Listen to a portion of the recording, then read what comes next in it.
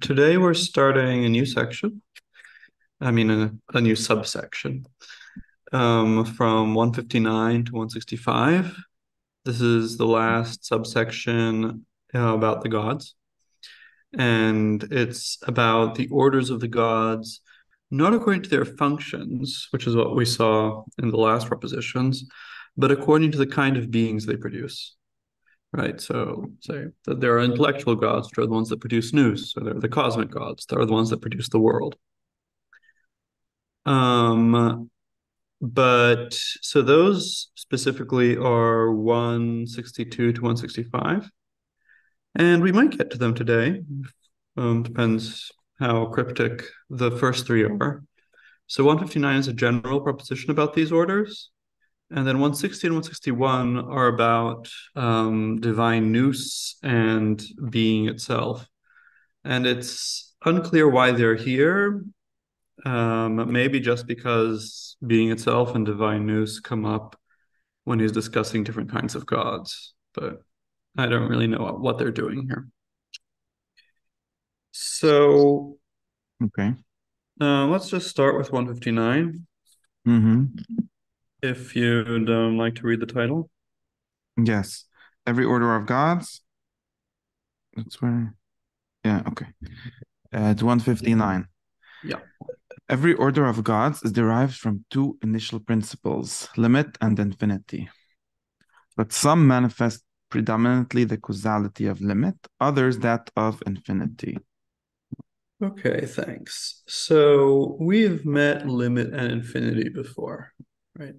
So infinity is the primary power. It's the cause. It's the origin of there being any causality at all.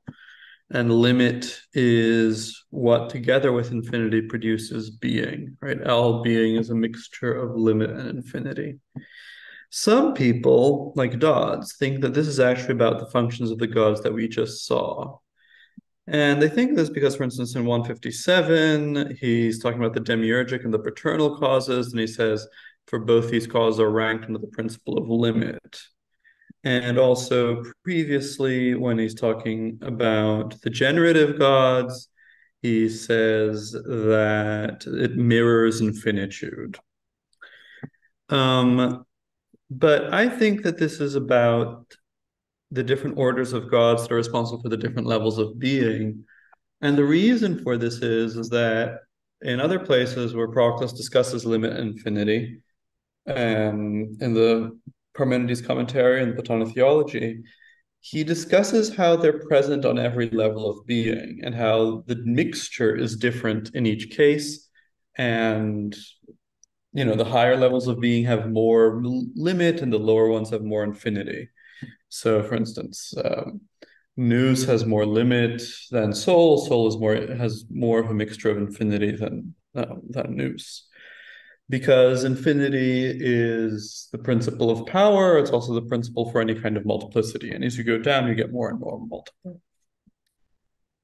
Um, and this has also been uh, like there's a Byzantine commentator of Proclus, very hostile, called Nicholas of Methone.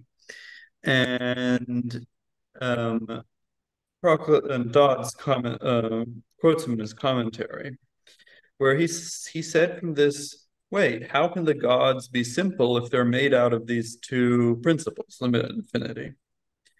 However, that's um, a careless reading of the text because it's clear here that the question is the orders of the gods, not the gods themselves, right?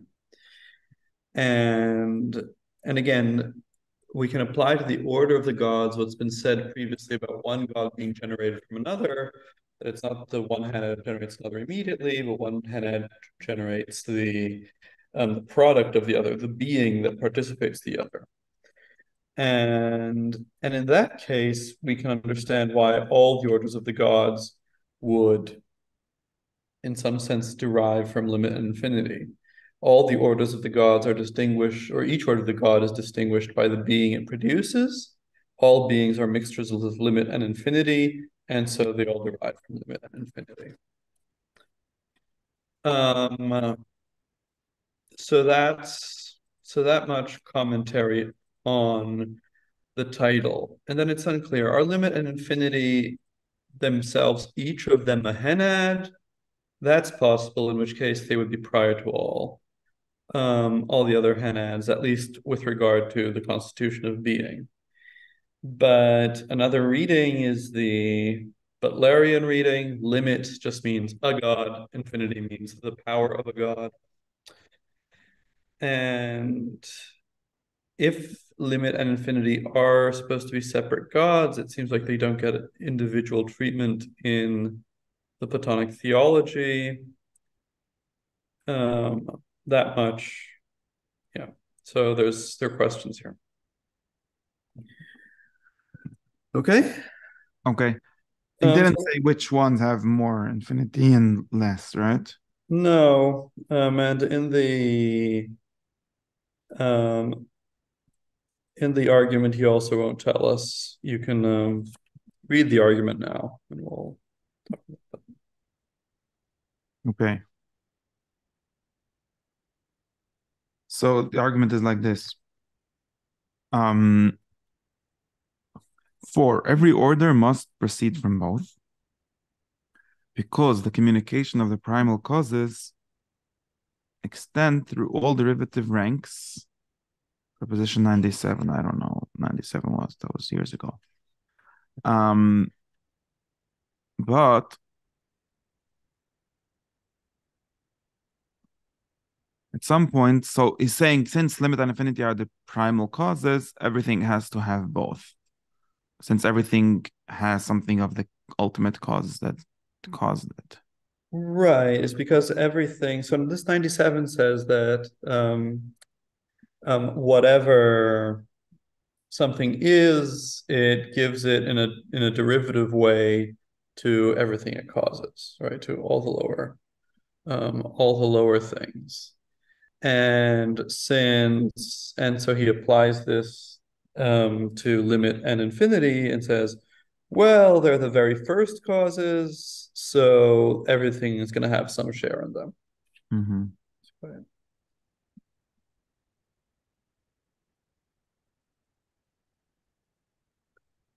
So that's just the general argument mm-hmm. okay then but at some point, limit is dominant in the mixture. At others, infinity. Accordingly, the results, he didn't prove that or something. Accordingly, the results one group of determinative character in which the influence of limit prevails. Okay. And another characterized by infinitude in which the element of infinity preponderates. Yeah. So he hasn't um uh yeah, and this uh prevails or preponderates is just um Dodds using different verbs to make the English more colorful. Um it's the verb in both cases is krate, which means to dominate, to be more powerful than. Um the he doesn't give an argument here for why they shouldn't be equally, you know, equally mixed in everything. Um, um, my guess is, however, that so that the distinctions between the different levels of being come from um, how unified they are, and so how how much of limit they have, and correspondingly how much of infinity. So if everything had the same mixture, everything would be just the same thing. Would just be the same kind of thing. So, and you see this like when Proclus in other texts talks about, for instance, how um, intellect is eternal and unchanging and always thinks the same things whereas the whereas souls they think one thing after another and they think different things and sometimes they're in bodies and so on. He says well this is because you know intellect is more of the kind is more limited than uh, soul. So um that might be a reason. Now why would there be different relations in them. Well, ultimately, I guess you would have to push this all. I mean, ultimately, for whatever thing, whatever you explain, you have to push it up all the way to the gods. And so you've we've seen that each god is a henad, that is, it's a unity, it's a measure of beings, also, and so the you might want to say, well, different if each of them is a unity, but each of them is a particular unity, they're all not the same kind of unity. So they don't all you know, they're going to produce a mixture of limit and a, a different mixture of limit and unlimited. Um, why is this difference in terms of quantity unclear, but that there should be quantitative relations between them is given by the fact that he wants to use this like more universal, more particular, higher, lower to talk about them. Um, so you're right that there's not an argument here. I think one can start to construct some, and I think it's interesting. Like we, and I think it's a, an interesting exercise to try to figure this out. Um, but but yeah, and it's because he doesn't here clearly say say what he means by one preponderating or one dominating or the other. Um, that's why there's this division amongst uh, scholars. Is he talking about things like paternal and fertile, the things that he was talking before, or is he talking about like being a cause of being or being a cause of an intellect, the things that come after? So that's why there is this debate because he doesn't explain it here. Mm-hmm. Um, but we'll get to those things, the different kinds of um, of henads because of the different kinds of beings they produce starting in 162. Before that, there's 160 and 161. Uh, do you want to go to 160? Yeah. Just one thing. When so, if I understand correctly, infinity is here always something like.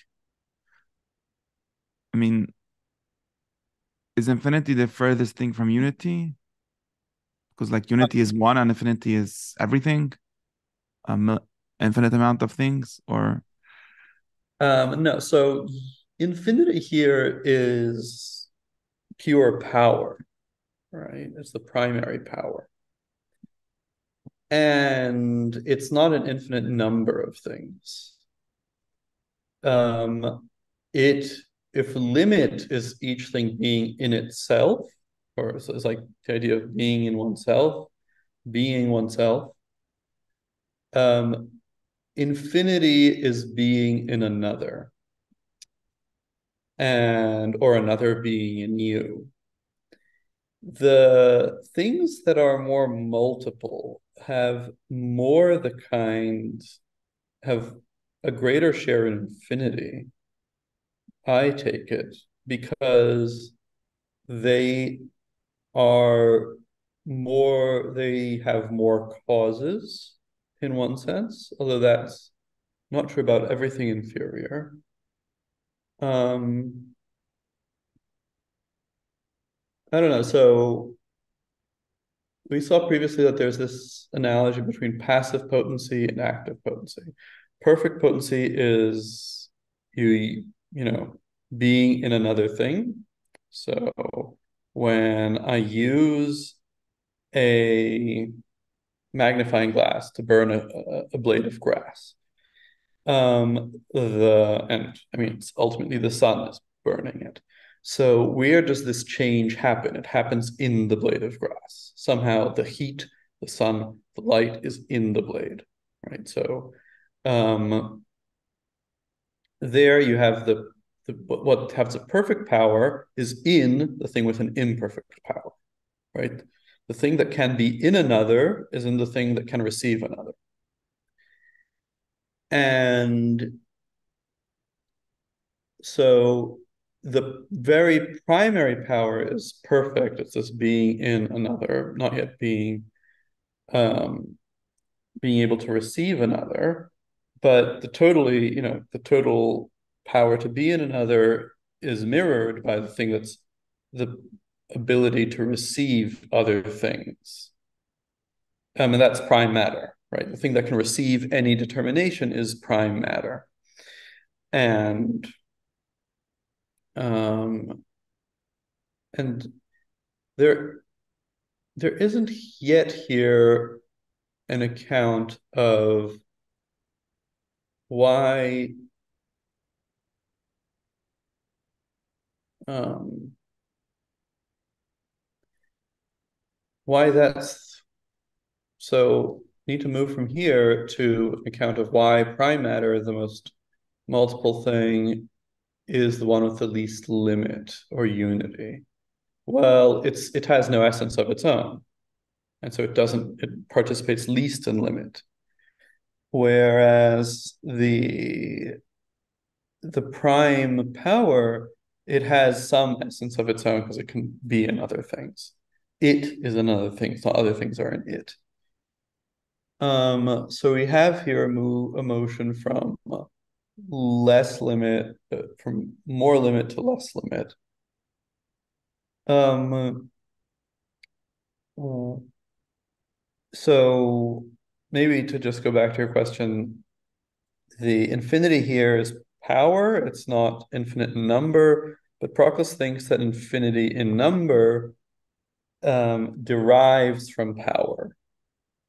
Um, the only infinity in number that Proclus recognizes is either the potential infinity, things can always be broken up into smaller bits, but you never get an infinity, or infinity in time. Um, there are infinite amount of generations. But anyway, though both of those kinds of infinity depend on the prime power. Um, there should be a way to construct an argument to show how you get from one to the other. So the infinity here is the passive potency? No, no, it's the, it's the perfect potency. But the passive potency is generated by the passive. Uh, the, the, the passive is generated by the perfect. So I'm confused now. So how does the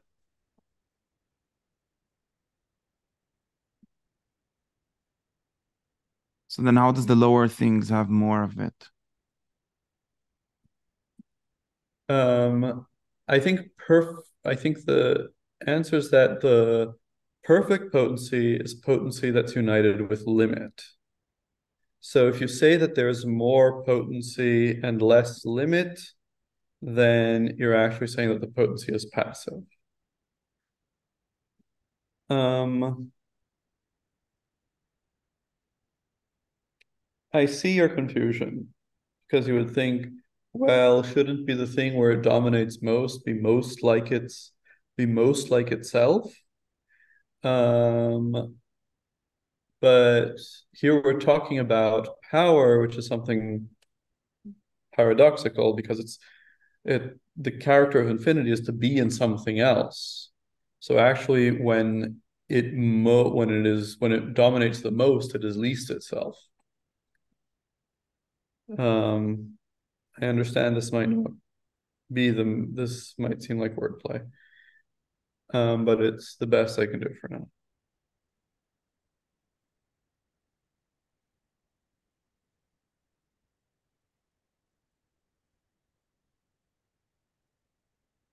Or maybe let me think about this in a different way. Um, so the causes of all things are the gods, and amongst the gods, there's each of them is a unit, and somehow they are all in all. This in this being all in all, all the gods being all, all and all the gods somehow, that is what is that is in infinite power of the gods, and it's the primary infinity, it's powerless. Um, and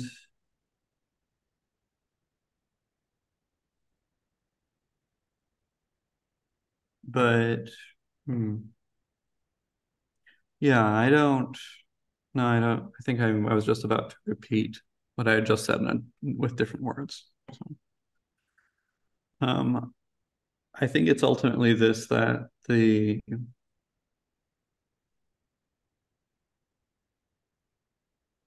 So let me put it this way power or infinity being in something else is the principle of multiplicity because for you to have multiplicity you have to have many things together. So you have to be have have many things in another thing or one thing in another. You, if each thing is alone and by itself and absolute you're not never going to get a multiplicity. Um and so in that sense when when it dominates the most you'll get the greatest multiplicity.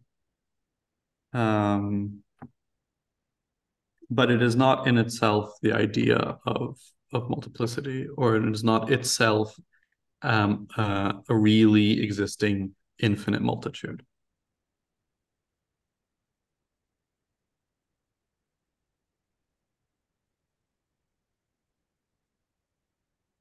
Hmm. So the infinity that we're talking about here is something like the the the first infinity and he's saying that in places where there's more things somehow there is more of that. Not really. Like it's somehow sourced in more than that, more of that. Does that make sense? Uh, what did you say after not really? The lower things will be said to be uh, originated like sourced originally in uh, more of in more of infinity than in limit. Yes. Uh, but they are not they don't have themselves more infinity and limit. No, that's that's a good way of um of thinking about it. So the lower things they are more caused more by infinity, but it's not that they have more infinity in them. So let's like think about a one succession of things, for instance. So nous is eternal. That it's like completely present in all its parts. It has no past, no future. Just is. And then the souls already exist in time. They have infinite time before and after, whereas the nous is always in the now. But souls don't have parts in space. They're, all their parts are together, all their powers are together. But then bodies already have different parts in space, and you can keep cutting them up infinitely. Um, and and there's an infinite power here you know when i say you can you can keep cutting them up infinitely that that's a that's a potentiality and when I say that, you know, um, soul has, you know, acts in time, so it has, an infinite past and infinite future, again, that's not given, that's an infinite power. So as you go down, you get more things that are merely potential, and these and these potencies are always can always be, you know, extended further. And you have less things that are actual. And um, and so, and but furthermore, Proclus thinks like that the the infinite, the perpetual existence of the world depends on souls, which depend on nous to always keep thinking. Um, and and so the sources of this infinity are going to be not in the in the in, infinite thing. So the lower things are both more infinite, but they're also, so to speak, more detached from their causes. Right? They, that's something that we saw in that proposition about how the lower you go in the hierarchy, the more something is um, you know connected to its immediate effects and the further away it is from its causes. So you know the bodies are immediately formed by their forms. So um, there's an immediate connection between the parts of this computer and and its form that's making it work but it is further away from its ultimate causes. So that could be um, um so that's right. The lower things are more a product of infinity, but they have less infinity in them, something like that. Um, the the lower this has to do with this idea of also of self-sufficiency, right? Things that cause themselves are self-sufficient. But then after, but but the things in this world, they don't cause themselves. This the world as a body doesn't cause itself. And and so it doesn't have its causes in it, it doesn't have uh, an an intrinsic relation to its causes. Um, and uh, and so in some sense it's more um, dependent in the literal sense of hanging on, right? It's um, there's yeah, that's um, yeah, it's more contingent, you can say.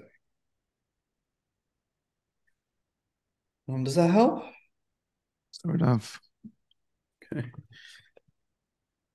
Um, we can come back to this maybe when we're going down through 162 to 165 and we can ask in each case okay hey how, how what kind of mixture of limit and unlimited do we have here or limit and infinity. Um now in 160 we're going to go to it's going to be something that changes the subject. It's going to be, about divine intelligence divine nous the only way to i can make sense of this is that well he's going to he hasn't talked about divine nous in a while and he's going to in a bit and so he wants to recall this. Or i can just throw my hands up and say it's an incomplete text it's not perfectly ordered um so why don't you read the title of 160 yes uh 160 says all divine intelligence is perfect and has the character of unity it is the primal intelligence and produces the others from its own being. Right. Um, so here the the main thing is right so like every intelligence that belongs to a god right so divine intelligence is an intelligence that participates in a henad is an unparticipated intelligence. To say primal here is the same as saying unparticipated. Um, so it's going to be something that it's going to be an intelligence that somehow characterizes what intelligence is or what soul is or what the body is. It's going to be something that um, defines a new thing. In that sense, going to be unparticipated. And it's going to produce other um, um, intelligences, right? Um, so, and having the character of unity here, well, every intelligence is one. It can be that uh, having the character of unity here, like what's special, like how is it specifically divine? It could be that it is somehow unique, right? It's a unique um, kind of providence, a unique way of, a unique way of seeing the world. So I talked about how the um, each intelligence. We'll come back to this when we start talking uh, in the section about intelligences, about noes. That each nous is like a separately existing metaphysics that makes itself known. But um, so here it might be that it's it's unique, as opposed to, for instance, um, daimones, right? Daimones, they are also each an intelligence, but they're just articulating, implementing things that God um, that a God has first already established. So maybe the Henoides here has something of that uniqueness of the gods. Um, uh, so um, let's uh, let's read um, read the first uh, line. Okay, so four. But this is not talking about the God itself, right? It's talking about the intelligence of yes. the God, something yeah. like that. Which is not all of the nous.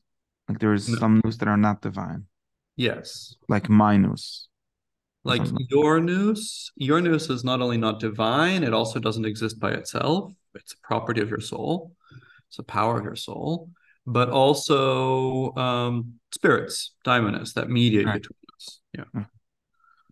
Um, four, if it is divine, it is filled with divine henads. I don't know what that means. And it has the character divinity within that. And if this is so, it is also perfect, being full of the divine goodness. Right. We have this like henad, unity, goodness, perfection, which is a kind which is goodness, I think. I'm not sure. Um, right. Yeah. So the you're right. He, he he he's doing this thing of oh, if, if it's one, then it's good, right? And that and that's where perfection comes in, and that has to do with the identity of unity and goodness. Mhm. Now the now you asked, I had I don't know what this means, being filled with divine henads. It is puzzling. So right, how can a divine henad be in a nous, right? Um, yet superior to it. So one way is to say, you know, the field is um, with is like it participates in the divine henads, and the divine henads produce a power in it. Right? We saw before this idea of the that you know the soul isn't itself in the body; it creates this vitality that animates the body. Right? There's a proposition 89, I think. It's about things that are separately participated, right? And it talks about how they im- implant a power in the um in the thing. Uh, 81, sorry. They they implant im, implant a power in the participant. Or it could also be not even the direct implantation of something from the divine henads. It could be something, for instance, from the being that immediately participates in them. That would make more sense because the the nous, you know, it knows being. Its relationship is primarily to being, not to the henads. Um, something interesting is this talk about filling, right, and being filled. It's something that Proclus does a lot, but it's also something that um, so there's a metaphor here like a a, a vessel that needs to be filled. And it's it's a metaphor that's used by Husserl, right, by in phenomenology, to talk also about our our intentions, right, our, our intentional attitudes. And so, for instance, um, I have an, an idea that things are in a I'm sorry. I have a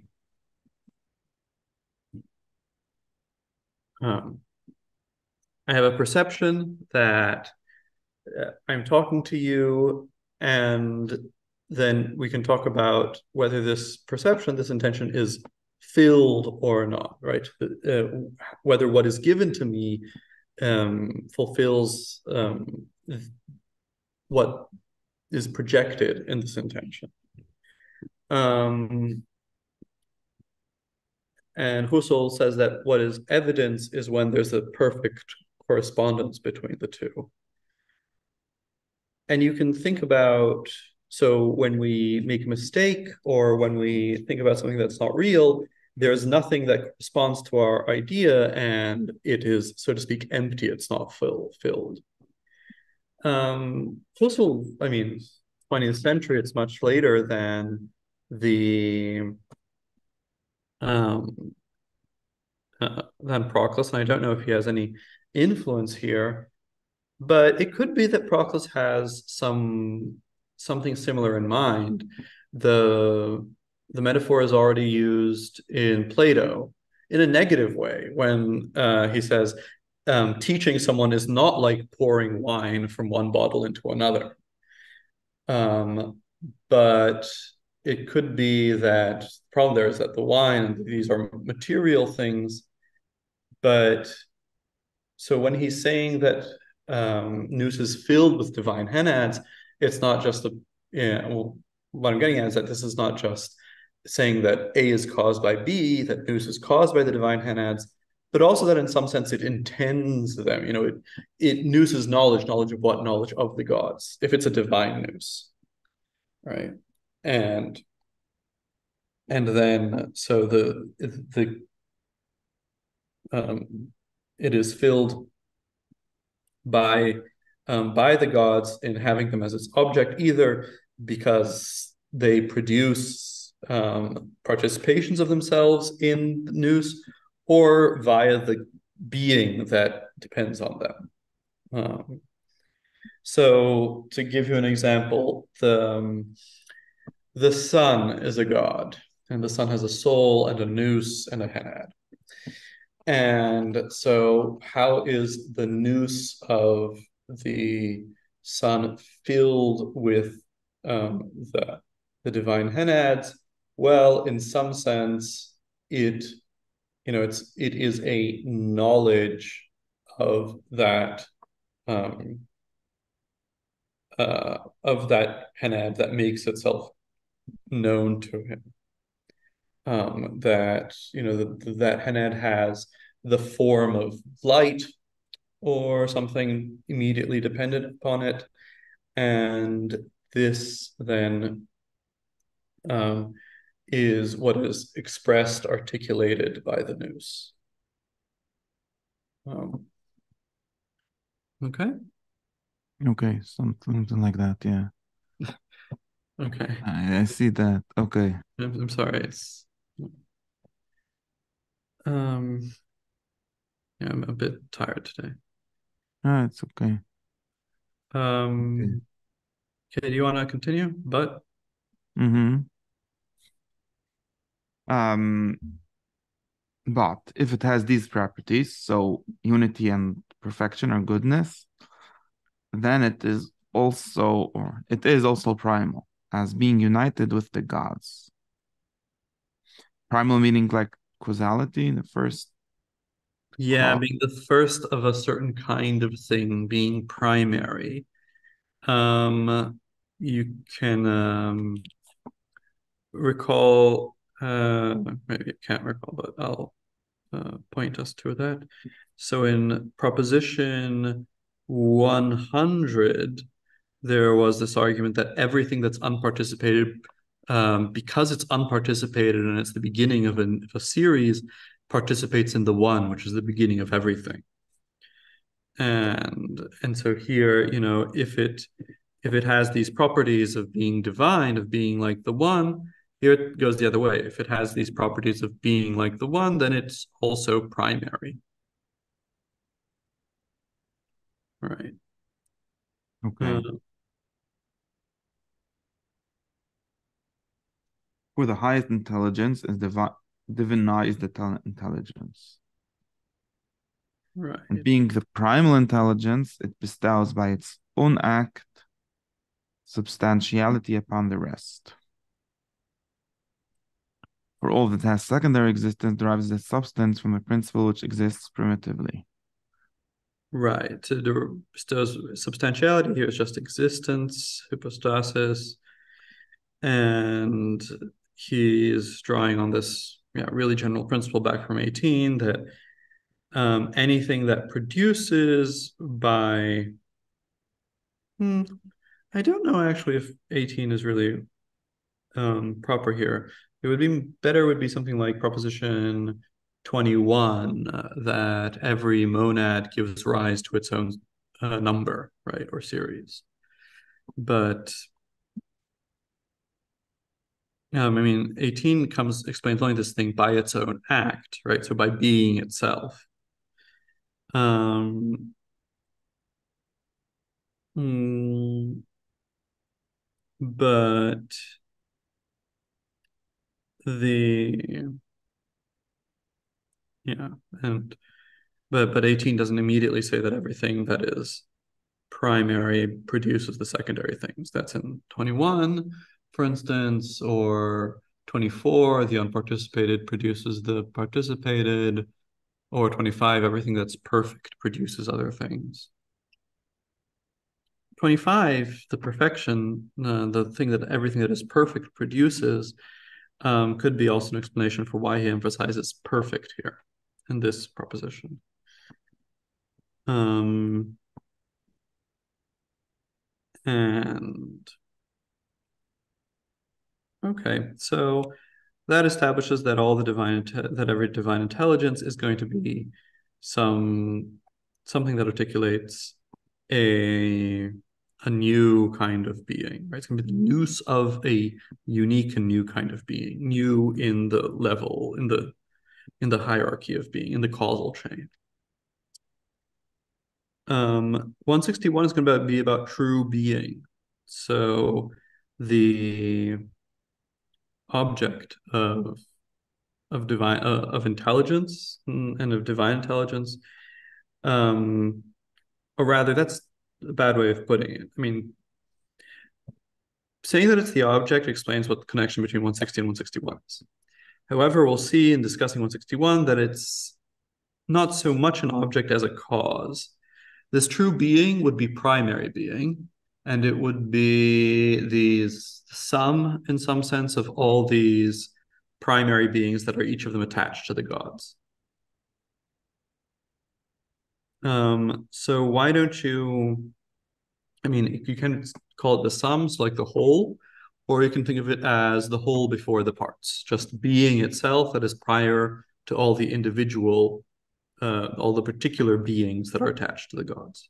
Mm-hmm. Um, in, I'll ask you to read the the title in a moment, but just about the first words, all the true being, that also in English is, has two meanings, right? It can be every instance of the true being, or it can mean the totality of the true being, taking it all as one thing. And I think it's better here to think of it as one thing, the totality of the true being. Um, so read the read that um, sentence 161. Okay. All the true being which is attached to the gods is a divine intelligible and unparticipated. Okay, so we're gonna see so which is attached to the gods. I talked about that right now, but intelligible here. That's a translation of noeton. It's a uh, typical translation, but we'll see in the body of the text that there's actually no intelligible content. It is not that there's something there to be known in true being, but it's called intelligible simply by causality, simply because it produces the content of intelligence, not because it itself has content.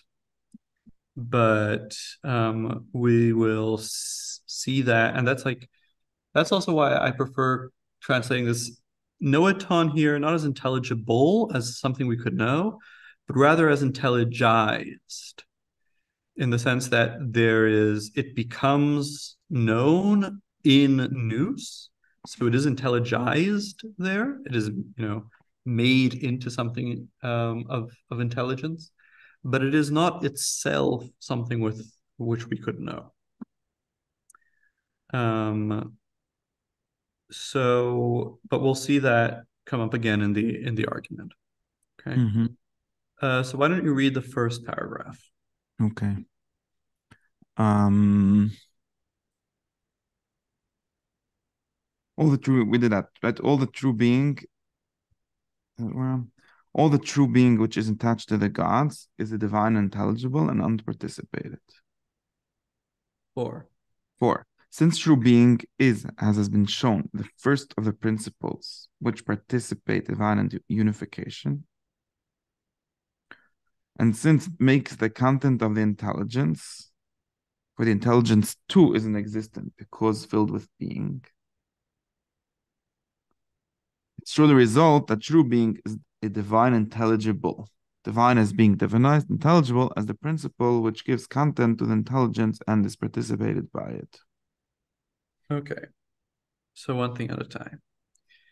True being is, as has been shown, the first of the principles which participate divine unification. So that was 138, building all the way back on on 101 to 103. So there, you know, he argued that life is more universal than nous, and being is more universal than life, and and and being is the most universal thing. And so that's why, uh, and being is the most universal unparticipated principle. Every unparticipated principle participates divine unification. So it's the first thing, uh, participates divine unification, meaning participates in some henad. And so being is the first of those. So that's what makes it divine. On the other hand, it makes the content of intelligence. So here, for the intelligence, it too is an existence because filled with being. So again, existent here is Dodds' translation for on is intelligence. So more correct, intelligence too is being because filled with being.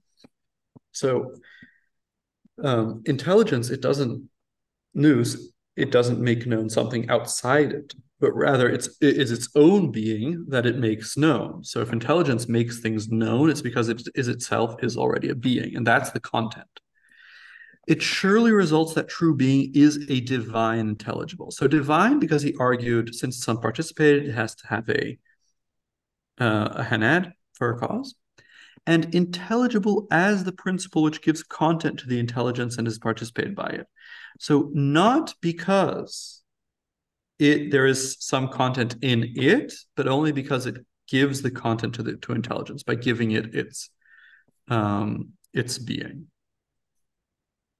Um, so that's that's what this first um, thing argues. It's the is a divine intelligible.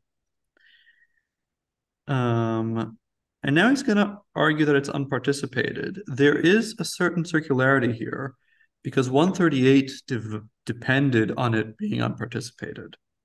Because for it to be a principle which can participate divine unification using the language here, it has to be a um, it has to be unparticipated already. But nonetheless, let's take a look at the next paragraph, even though there's a it, it's just a separate argument for it being unparticipated.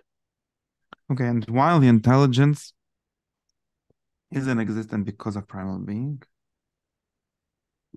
this primal being is itself separate from the intelligence. Because intelligence is posterior to being. Again, right? That we know that already, right? From 101. No, I remember. And again, unparticipated terms subsist prior to the participated. So that prior to the being, which is consubs- consubstantial with the intelligence, there must be a form of being which exists in itself and beyond participation. For true being is intelligible not as coordinate with the intelligence, but as perfecting it without loss of transcendence, in that it communicates to the intelligence the gift of being and fills it with a truly existent essence. I have no idea what any of these words mean. Okay. Um, so he's trying to really draw a line between being and intelligence. And he he wants to say, and he's trying he's drawing this line through the participation, unparticipated line. So intelligence is a being. It makes itself known. And so there's a duality in in intelligence, and this is a duality that he's been mentioning ever since Proposition 20 when he first introduced it, where there's on the one hand the being, right, the what it is, and then there's this activity of intelligence which is making itself known. So we're going to see later that, the, that this being that constitutes intelligence is something like a form right so like there's a there's an intelligence that so there's a spirit there's a daimon that takes care of horses make sure that horses always reproduce and so on is the, the great shepherd of horses and so a daimon is a soul that's dependent on a nous, and the nous isn't dependent on something else um, immediately, right? It it isn't the an instrument of the henad. Ultimately, everything depends on the law. So the nous, um, so this nous will have what is it? It's the form of horse. And through its activity, it makes this form of horse known. It not only makes it known, we'll see that it also has effects. It will, in some sense, create the horses. It's the shepherd of horses also in that. Um, so there's always this duality within nous. And then you can distinguish within nous between, say, the activity of the nous and the being that corresponds to it. This is the being which is consubstantial with the intelligence. So the activity of knowing uh, what a horse is and the form of horse. Okay. So these are the the two things. And now he's talking about intelligence itself, right? So not the intelligence of any particular thing. Um, ever since, I mean, Plato drawing on Parmenides, there's this idea that what intelligence basically is is grasping being, right? It's this ability to know being. And intelligence nous that exists separately is this being that makes itself known, right? And intuitions makes itself known, like, like a sun. And so he's saying, so what would the the core of this nous be? What would the the being that it makes known be? It would be the concept of being, right? It would be the form of being, right? If each nous is somehow like a separately existing metaphysics, this very first intelligence, it is, as it were, the metaphysics of Parmenides' poem. What is, is, and what is not, is not. And being is everywhere the same. And so that would be the very first nous. And Proclus's argument here is saying but this is a being. This nous that produces knowledge of what being is, it is a being. Whereas being itself is not any particular being. It is the principle for which all, because of which all the beings have any being whatsoever. So it is not identical with the being that that nous makes known. It is intelligible, it is known only because it gives being to that nous, but not because it is the being that that nous uh, makes known. Um, so one way of understanding this is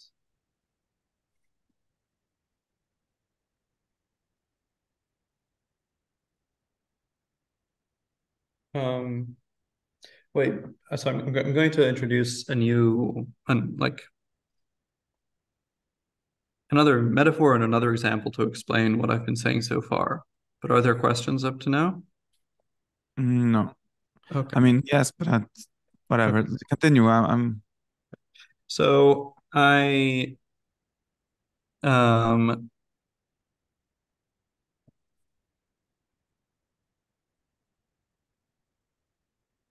So this is, as it were,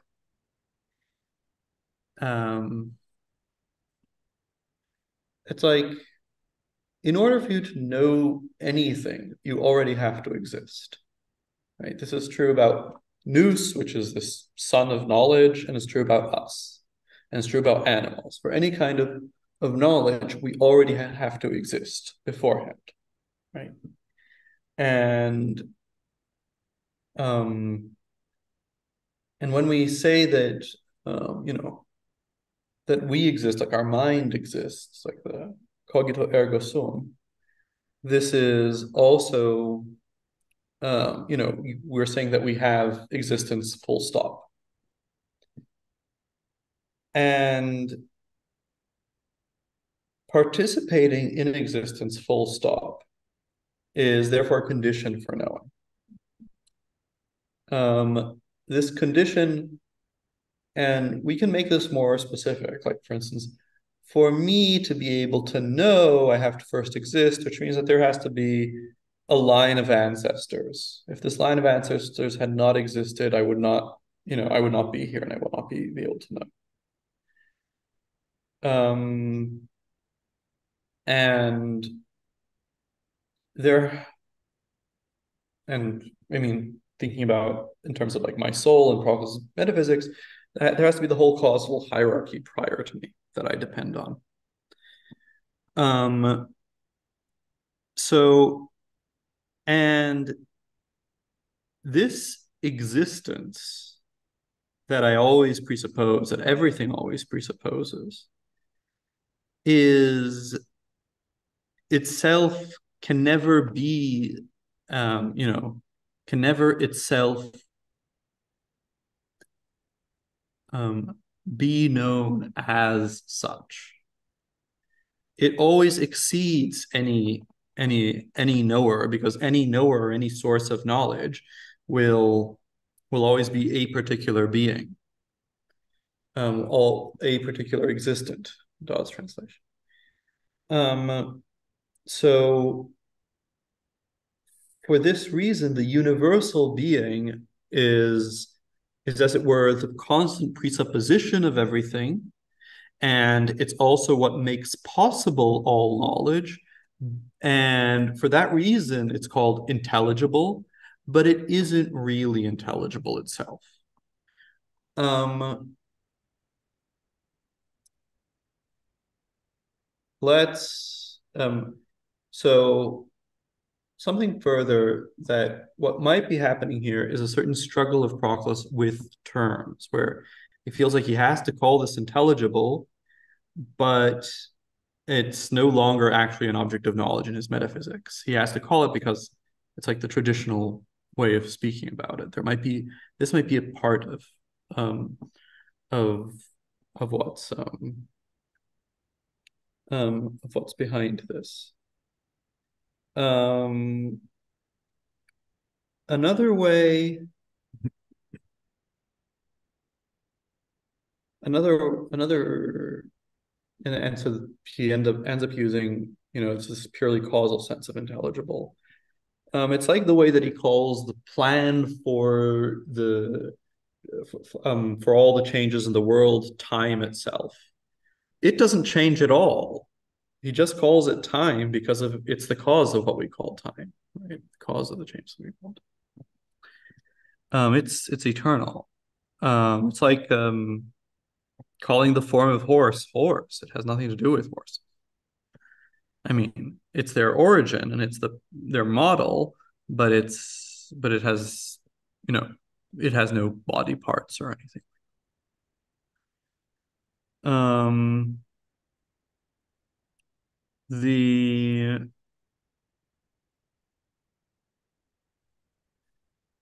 um yeah i think that's what i can um